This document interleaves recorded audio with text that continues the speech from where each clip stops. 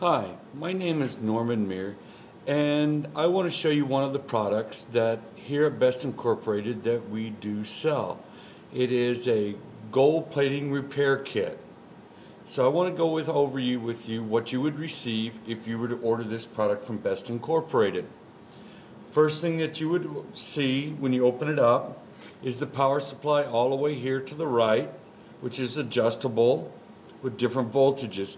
Now the voltage that I normally work with is around uh, 4.5 uh, volts. And, uh, and um, you would adjust it accordingly to get a good plating going on.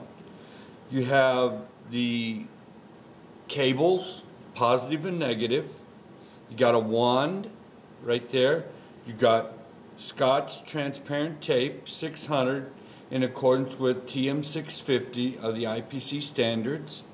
You have a two ounce container of cerium oxide, two ounces of nickel plating, and you got 24 karat gold down here. Okay. What you would do is plate it with this for, you'd clean up the area, then you would plate it with nickel, then you would use the gold, then you would end up cleaning it and brushing it up and shining it up with the cerium oxide.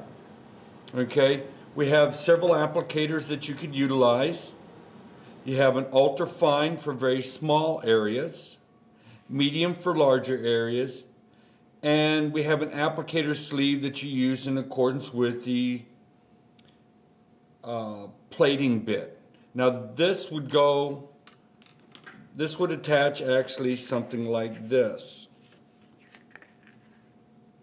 You would actually stick it inside the applicator so it would look something like that. Okay, now let's see how all this works together, shall we? Okay, you have your power supply with different voltages right here, so you adjust it accordingly. Like I said, I work with about 4.5. I have gone up to 7.5 some, for some areas and it just depends on you. Start low and work your way through it. Okay? And you have your power supply adapter right. You got your end of your cord right here. Now, where does this attach to? You take this and you plug it into there just like that. It's all you have to do. Nothing more than that. Undo.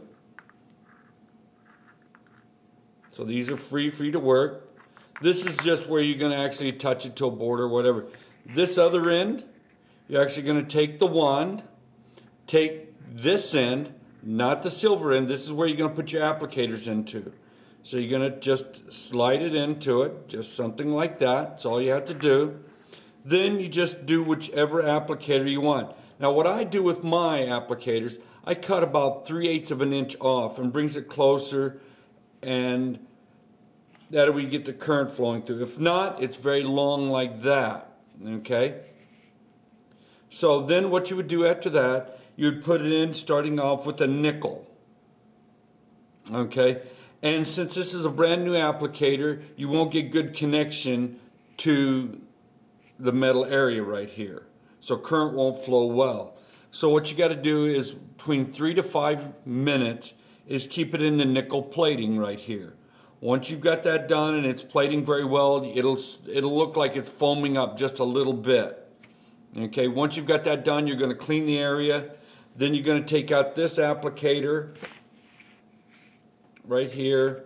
And what I do is use another one, use a smaller one for my gold plating, just slide it right in just as easy as that.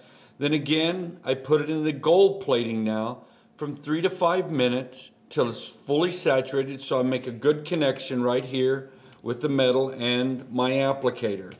Then I just go in and plate. So first thing we got to do is remove the solder. So I'm going to move my wands and my tips out of the way. There we go. Let's move this more into the center so you can see a little bit easier what I'm going to do. So first thing I want to do is remove that solder. I've got a number two solder wick. I have flux I'm applying because I want to remove all that off. I'm going to be utilizing a large hoof tip. Come down here right where it's at. gently, don't press down because you could damage your pads lifting them or anything else. Clean off my tip. I want to remove some of that solder wick off there and come back in here and repair the other, remove from the other pads, just like so. Straight down and straight up is always the best way. You can see it wicking off into there. Next thing you want to do is utilizing a finger is make sure they're nice and flat, and they are. So now I'm going to turn off, add solder to the end of my tip, turn off my iron. I'm going to be using some isopropyl alcohol to remove the flux, just like this. Going in there making sure it's nice and clean, that there's no flux contamination. If I have to, I can use an acid brush, getting them nice and clean. Next thing I'm going to be utilizing is some deionized water. Come in here, clean it up nice and neat. Okay, clean it up nice and neat just like you're seeing. Okay, next thing I'm going to do is I'm going to get it installed into my one applicator here. I'm going to install my tip. And you want to push it and seat it all the way in, just like so. Okay, then I'm going to put it into the nickel plating. That's what you're going to utilize first. Now, if you've never utilized them before and they're brand new, what you want to do is to put it into the tip and put it into the nickel for about three to five minutes. So that way you make a good electrical connection between the applicator and the tip itself. Next thing I'm going to do is come down in here using my other tip and I'm going to go and apply nickel. Now you can see really close up that it is going on. It's kind of hard to see with this. It's just going back and forth, gently applying it. Go to the keep doing one right after the other, like so. And what this actually does a little bit, it foams up. You can do little circular motions if you want, however you want to do it. Now you see me doing it on these and you're like, yeah, it's really happening. So what I'll do is I'll come down here and do this one. Look at the difference in the color immediately, right? Okay, now you might have to move this down a little bit so you can get right where you were at. So now they've got all that done. Next thing you do is you're going to take out that applicator and you're going to put your gold plating applicator in. Slide it all the way down too. But before you can do that, again, use some deionized water and come in here and clean up these pad sites just like so because you don't want any cross-contamination or chemical issues. Now I'm opening up my gold. Now you got to be very careful with these. After every item of these chemicals, you need to put the lids back on because these are hazardous chemicals, especially the gold that has cyanide. I have a respirator on, eye protection, I've got rubber gloves on, and again, I'm saturating it in there, again, three to five minutes if it is brand new. Then you're going to come out, again, just like we did before. And I'm going to start on this one down here. Look at that. Just gently doing it. And you can see where there's tiny little bubbles forming up.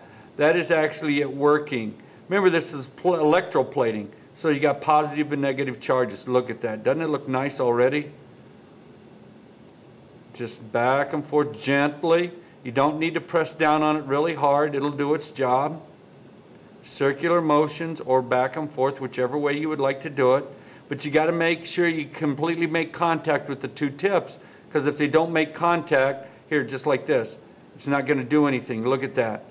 Look at that not doing anything. But you bring them together, it's that positive and negative charge that is creating this uh, plating to go on. So here we go, almost done. Okay, got one last one here. Very easy to do, like I was saying.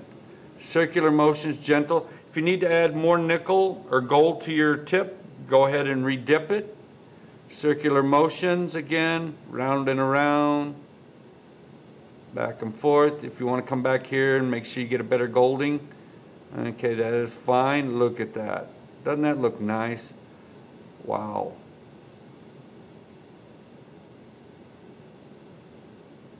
There's no reason to rush the process here. Remember, your company has already manufactured the board, so that's the least of your worries. Your worry is making sure that you do this correctly. Okay, now that we've got that done, okay, putting my lid back in my container. Again, next thing I'm going to do is deionized water. Come in here and clean these up really well, just like so. And then the next thing you're going to use is a powder. Okay, now you can use a cotton swab if you want and uh, put a little alcohol on it or something so it'll adhere to it.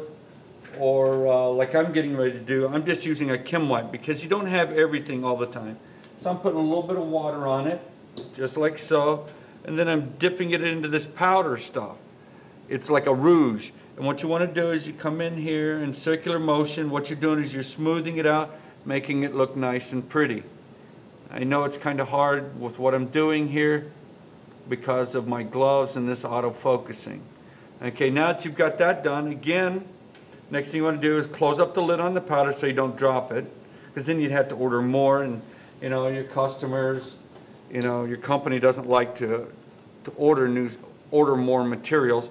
They just look at you and like, what did you do wrong, right? Okay, nice and clean, just like that. And then the last and final test that you got to do in accordance with uh, TM650 is a tape pull test. Okay, and all you do is you're going to take the tape, put it down over the area, just like so, rub it, just like that, then take your tape off, and look to see if you've got any gold flakes. Let's see.